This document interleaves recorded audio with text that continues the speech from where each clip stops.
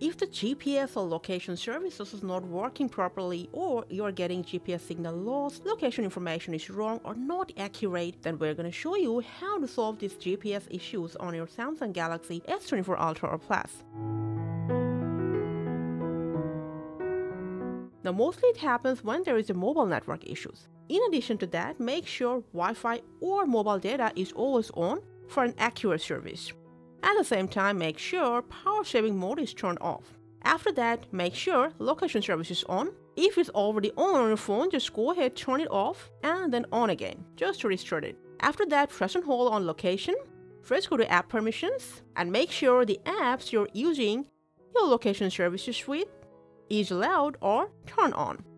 And also make sure use precise location option is turned on. After that, go back to your location settings and enter location services turn on location services for all these options. Similarly, don't forget to turn on Wi-Fi scanning and Bluetooth scanning for a more accurate and precise location service. Now last but not the least, open settings, scroll down to battery, to background usage limit, and to sleeping apps, make sure the apps you want to use location for is not in this list. Just go ahead select all the apps that you want to use location services and then remove it from here. And after changing all these settings, just go ahead and restart your phone once. If you have followed all these steps, your location problem will be solved. Let us know in the comment section which location you're from. Thank you for watching.